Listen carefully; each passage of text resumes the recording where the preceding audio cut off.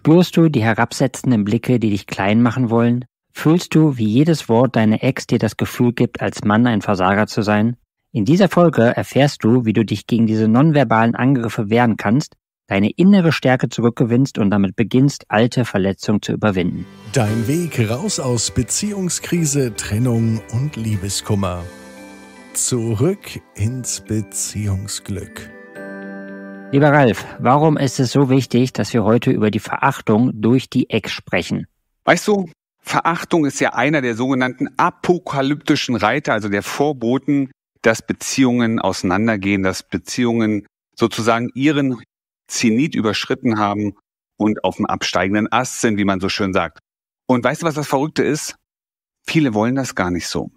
Manchmal rutschen wir so in eine Verachtungsfalle hinein und uns ist gar nicht bewusst, dass es eine verachtende Wirkung auf dem anderen hat und führt am Ende dazu, dass die Beziehung noch viel schlimmer wird, als sie gerade noch war.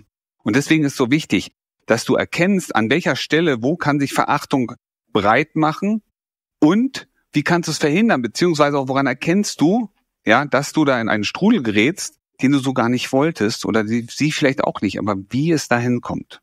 Welche subtilen und kaum greifbaren Formen von Verachtung sind Männern denn häufig durch die Ex ausgesetzt? Na, was, was ist das, was du als Mann häufiger mal erlebst? Viele Männer berichten davon, dass sie so eine Art Ignoranz bei ihr feststellen. Dass sie über etwas reden, dass sie vielleicht sogar eine Frage stellen, aber irgendwie gar keine richtige Antwort bekommen. So als wären sie gar nicht da. Kommt dir bestimmt bekannt vor. Dass du manchmal im selben Raum bist, dass du eine Frage stellst und nichts zurückbekommst. Dass du ja, egal was du gerade tust oder diesen Eindruck auf jeden Fall hast, egal was du tust, es gibt keine Resonanz darauf. Es wäre egal für dich, ob du da bist oder nicht. Auch das Schweigen in bestimmten Situationen, ein Nicht-Antworten, ist sowas wie eine passive Aggressivität. Manchmal siehst du es auch im Blick von ihr. So ein Blick von oben nach unten herab. Schon mal erlebt? Ja, dieser Blick. Manchmal auch dieses Augenrollen. Oder das Hochziehen der Ober- oder ein Einknicken des Mundwinkels auf einer Seite, hm, wenn du etwas sagst. Da ist nichts gesagt worden von ihr, aber sie hat dir gezeigt, du pass mal auf, was du sagst, hättest du auch lassen können. Dann gibt es manchmal diese kleinen Spitzen. Ja, ja, der Ingo. Kann, musst du nicht so ernst nehmen, was er sagt. Kennst du auch, ne? Musst du nicht so ernst nehmen. Vielleicht sogar noch vor Freunden in der Öffentlichkeit. Ach ja, der ist immer so penibel. Ja? Auch das ist schon Verachtung. Für dich fühlt sich das an wie diskreditieren. Ist vielleicht gar nicht immer so böse gemeint, aber es sind diese kleinen Spitzen, die sich in Verachtung letztendlich auch wieder zeigen. Mit dem kannst du nie pünktlich kommen. Oh, der sieht immer aus wie der letzte Hänger. Merkst du? All das sind kleine Aussagen, am besten auch in der Öffentlichkeit, in denen du siehst, wie sie dir ganz gerne auch mal so ein, das Stück Verachtung entgegenwirft, manchmal sogar gar nicht so gemeint, aber gesagt. Wenn wir jetzt so Verachtung bekommen und ich denke, die Beispiele, die du gerade gebracht hast, das hat jeder schon mal in irgendeiner Art und Weise mitbekommen und das ist einmalig, dann können wir es vermutlich gut verkraften. Aber wie wirkt sich denn so langfristige Verachtung durch die Ex auf unser Selbstbild und natürlich dann auch auf zum Beispiel neue Beziehungen aus? Und das ist ganz wichtig. Du hast gerade was ganz Spannendes gesagt, Felix. Es kann ja mal passieren, ne? Aber wenn es wiederkehrend passiert und jetzt passiert schon, da merkst du schon gerade, es fängt schon beim ersten Mal an. Du akzeptierst schon beim ersten Mal, dass sowas gesagt wird, ach ja, der Ingo, Ne? Ach ja, das darfst du nicht so ernst nehmen, was der sagt. Schau mal, und du lässt es heute zu. Du setzt keine Grenze. Du sagst nicht, du, das ist, ne, ne, das gefällt mir nicht, das verletzt mich. Damit hast du schon selber, und das muss ich dir mal so sagen, den Ball auf einen Elfmeterpunkt gesetzt. Ja, weil jetzt wird er immer gegengetreten, weil du es nicht gesagt hast. Sie weiß vielleicht sogar gar nicht, dass dich das verletzt. Manche Sachen werden auch manchmal so im Spaß gemacht, haben aber eine riesengroße Wirkung. Und du merkst es gerade schon, ne? Solche kleinen Spitzen, vielleicht auch so ein Blick, so ein einknickender Mundwinkel, heißt erstmal nichts anderes, du, da ist jemand nicht ganz mit mir zufrieden. Aber anstatt sich selber größer zu machen, wirst du ein Stück kleiner gemacht. Und du merkst gerade schon, wenn du kleiner gemacht wirst, ja, der Ingo, der Stefan, der Christian, ja, die wissen das nicht besser. Du, der hat das nicht besser gelernt. Das baut natürlich enorm gegen dein Selbstwertgefühl. Es untergräbt es maximalst. Und das sind immer wieder eine kleine Schaufel, noch eine Schaufel, noch eine Schaufel. Jedes Mal, wenn das passiert. Und du wirst merken, mit der Zeit, am Anfang ist das noch ganz easy wegzustecken, aber irgendwann sagst du, bu, das nervt, das, oh, das ist verletzt immer mehr, immer mehr und immer mehr. Und du fängst an, möglicherweise sogar deine eigenen Werte zurückzufahren. Und es gelingt dir nicht mehr Grenzen zu setzen. Weil jetzt auf einmal wird es sogar noch, nee, wirkt es auf einmal lächerlich. Also jetzt komm, weißt du, Ingo, ja, du willst mir jetzt wirklich sagen, dass das doof ist. Das haben wir schon immer so gemacht. Kommt dir das bekannt vor? Kennst du das? Nimm mal deinen Vornamen vorne weg. Also das, das hat dich doch noch nie gestört. Guck mal, schon wieder. Ja, das sind diese kleinen Auswirkungen, ja. Und es wirkt langfristig dahingehend, dass du dich nicht mehr wahrgenommen fühlst, dass du deinen Selbstwert nicht mehr wiedererkennst in der Beziehung. Damit baut es natürlich auch gegen deinen Selbststolz und dein Testosteron, also das, was dich als Mann so ausmacht, ja, was dich so anzieht, wird Stück für Stück abgebaut. Du wirkst nicht mehr so souverän, so klar. Und eure Beziehung ist auf dem absteigenden Ast. Bezogen auf die vorherige Frage stellt sich natürlich jetzt auch die Frage, was denn die häufigsten Fehler sind, die Männer machen, wenn sie mit einer Verachtung durch die Ex konfrontiert werden und was kann man machen, um diese zu vermeiden? Der allergrößte Fehler, den du machen kannst und den die Männer auch machen, ist, sie widersprechen nicht und sie stehen nicht zu sich. Und wenn sie es tun, dann mit einer Du-Botschaft. Ja, du bist ja ganz schön frech, dein Verhalten, das geht gar nicht. Und das ist nicht mehr konstruktiv zu sagen, du, das, was du vorhin gesagt hast, das hat mich verletzt und ich möchte das nicht, ist ein ganz anderer Umgang. Das, was da gesagt worden ist, hat mich verletzt. Das wäre ein deutlich besserer Weg, den Angriff nach außen zu schießen, weil du das gemacht hast, was uns schnell passiert aus der Emotion heraus, aus der Verletzung heraus, ist aber das, was es immer weiter anschürt. Weil jetzt kommt nämlich, habe ich ja gar nicht gemacht. Kennst du auch?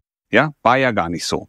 Nee, nee, nee, das ist ja nur deine Wahrnehmung. Nee, nee, das ist nur deine Wahrnehmung. Und schon bist du in einem Konfliktgespräch eingetaucht, das du so gar nicht haben wolltest. Und deswegen ist eins ganz wichtig, eine bewusste Kommunikation. Was den meisten aber in den Momenten schwerfällt. Schau mal, wenn du emotional verletzt bist, bist du doch nicht, sind die meisten Menschen nicht in der Lage, konstruktiv mit anderen Menschen ins Gespräch zu gehen. Da braucht man schon ein Stück Übung für. Geh doch mal in einer Situation, in der du dich verletzt, angegriffen fühlst, hin und sag, du, das hat mich jetzt aber ganz schön verletzt. Geht nicht. Tut mir leid. Können die wenigsten. Das ist aber das, was passiert. Das sind die häufigsten Fehler. Aus der Emotion heraus lospoltern mit einer Du-Botschaft, ja, sofort reagieren und am besten nur reagieren. Das ist nämlich das Schlimmste, was dir passieren kann. Du reagierst auf das, was passiert ist, statt proaktiv die Dinge mal anzusprechen. Sagen, du weißt, mir ist mir letztens mal Folgendes aufgefallen und ich wünsche mir, dass wir den besseren Umgang damit finden, dass wir beide respektvoller, liebevoller miteinander umgehen. Das ist das, was am allerhäufigsten passiert ja, diese Fehler. Wir reagieren sehr schnell und dann am besten auch emotional. Uns gelingt es nicht, bewusst in eine klare, zielführende Kommunikation zu kommen. Was will ich als Ergebnis haben? Nämlich, dass wir gut miteinander umgehen und die Proaktivität fehlt oft. Proaktiv heißt nicht, geh proaktiv in das Gespräch, sondern oft sind wir nur in der Reaktion, in der Gegenwehr sozusagen. Und damit ist das Ding immer von hinten aufgezäumt. Aus unserem eigenen Programm der Beyond Breakup Experience kennen wir das ja häufig auch von den Männern, die bei uns sind, dass so eine Trennung ja schon viele negative oder belastende Emotionen auslöst und die Männer sich schon schlecht fühlen und in ganz viele verzweifelte Schleifen reinkommen. Und jetzt kommt noch die Verachtung der Ex hinzu. Deswegen, was für spezifische Techniken oder Übungen schlägst du denn vor, die helfen könnten, um sich wirklich von diesen ausgehenden Verachtungen der Ex zu trennen?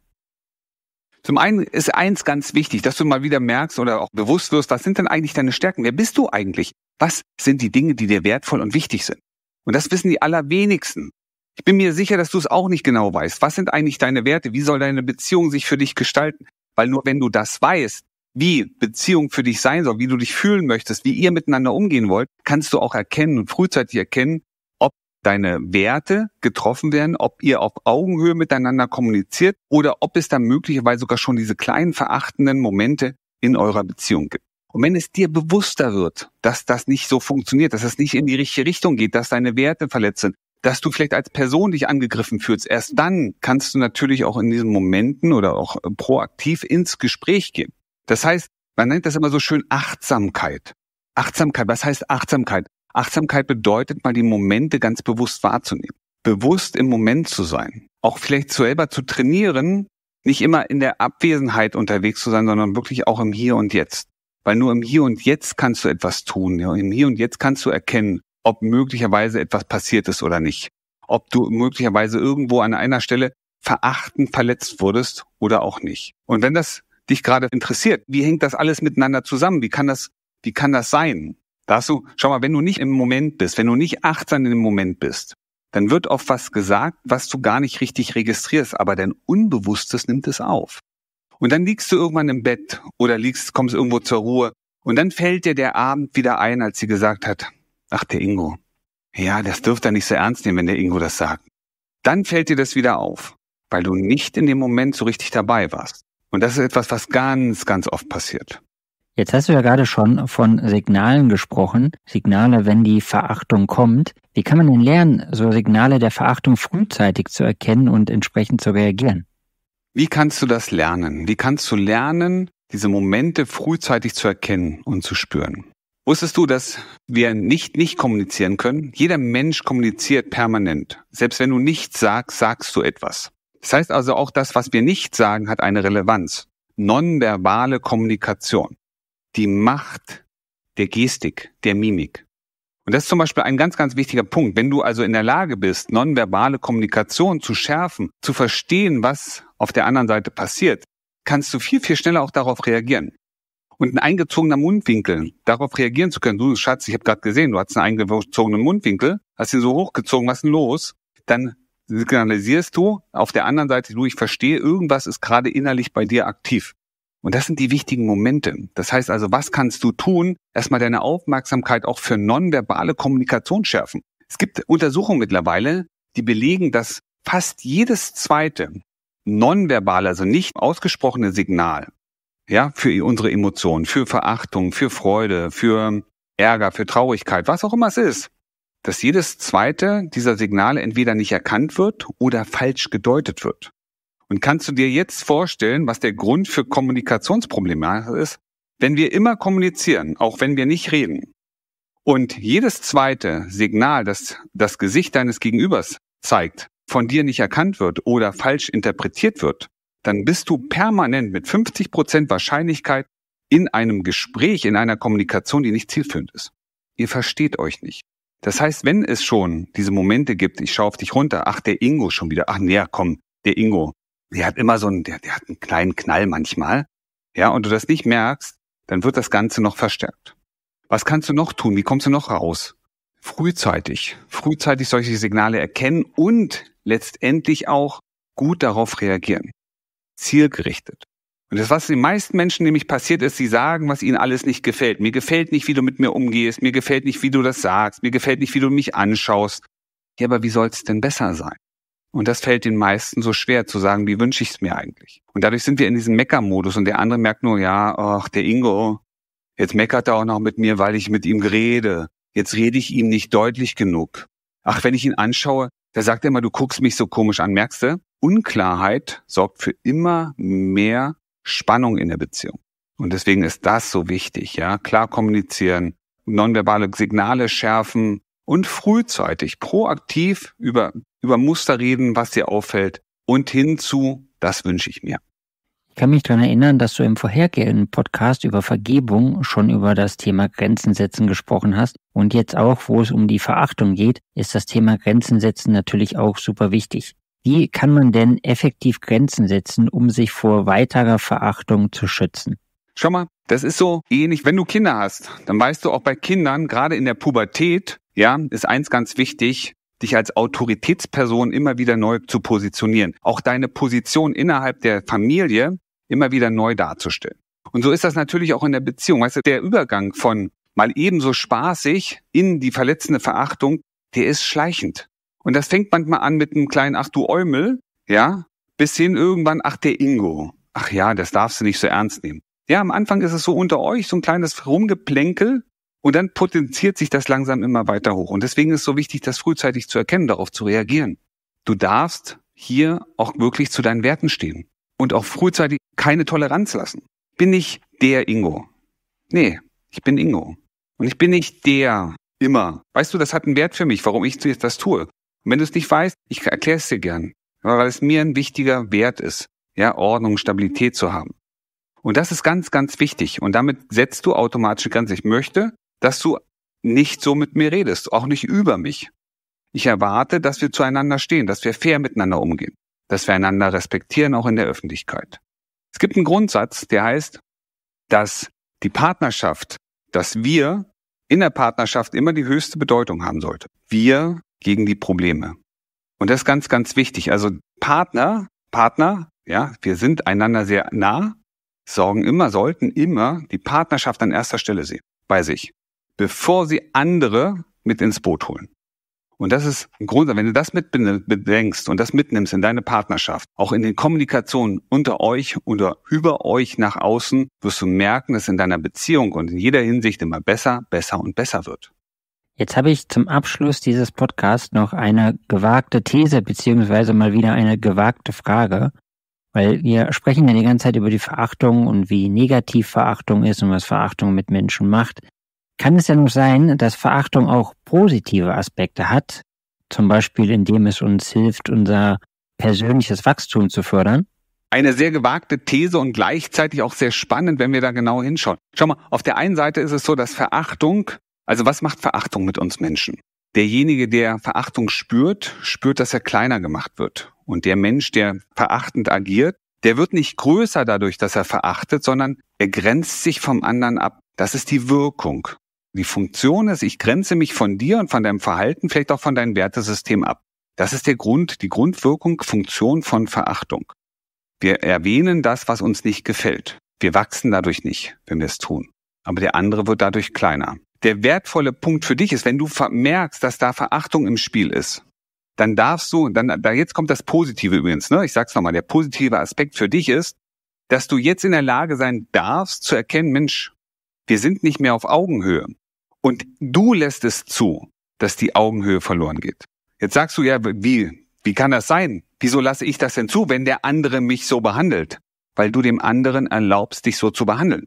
Und wenn du dem anderen den Raum gibst, dass er verachtend mit dir umgeht, und wenn es nur diese Kleinigkeiten, ach Ingo wieder, ist, damit hast du Tür und Tor aufgemacht. Das heißt, das Positive für dich ist, dass du erkennen kannst an diesen Momenten, dass du an dir arbeiten darfst. Dass du schauen kannst, was kann ich, was kannst du für dich tun, dass dein Selbstwert, dein Selbststolz wieder gesteigert wird, dass du wieder zurückkommst auf Augenhöhe, dass es dir gelingt, dich von diesem Verhalten abzugrenzen, deinen Partnerin in die richtige Richtung zu begleiten, damit ihr gemeinsam wachsen könnt.